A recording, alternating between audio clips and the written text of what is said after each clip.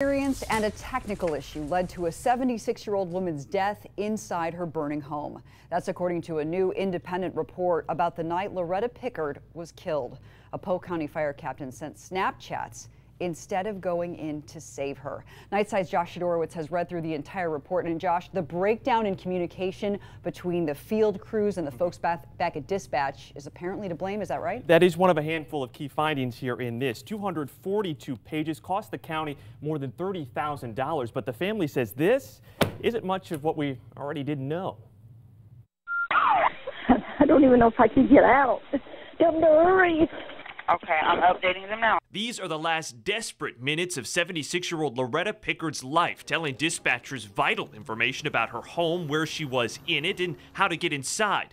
But it is info this third party report found never made it to crews on scene because it was put into a computer system, not relayed verbally. And the responding firefighters didn't have a working computer because they weren't required to. I'm exhausted. I'm disgusted.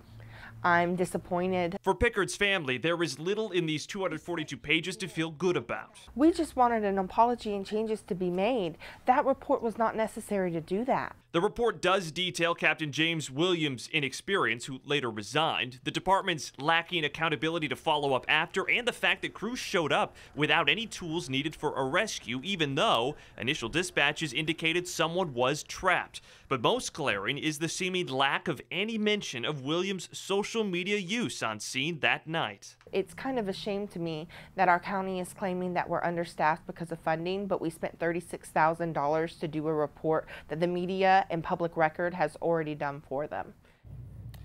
Wow, interesting perspective that she sure. has. So what's next now? Well, so the Board of County Commissioners, they will get a presentation on this very report tomorrow morning. We'll see if they think it was money well spent. I don't think we've heard the last of this. I do not at all. All right, Josh, thank